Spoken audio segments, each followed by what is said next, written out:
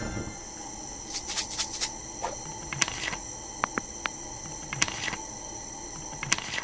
Aw, yeah. If your power goes out, remain calm and assist family members.